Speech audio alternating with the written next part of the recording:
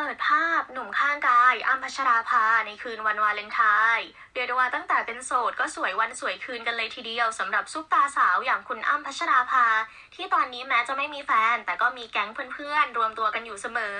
ทำให้งานนี้สาวอั้มไม่เหงาแน่ๆเลยค่ะ และนอกจากนี้ค่ะล่าสุดก็ได้มีอินสตาแกรมโพสต์ภาพหลังจากที่นัดเพื่อนดินเนอร์อาหารมื้อหรู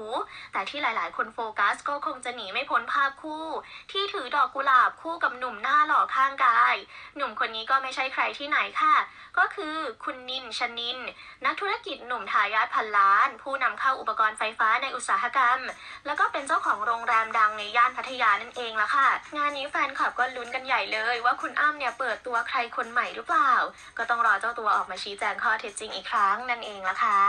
ขอบคุณทุกคนที่รับชมคลิปนะคะ ฝากทุกคนกดไลค์ กดแชร์ กด subscribe ด้วยนะคะ เพื่อจะได้ไม่พลาดข่าวใหม่ๆ จากทางทีมงานค่ะ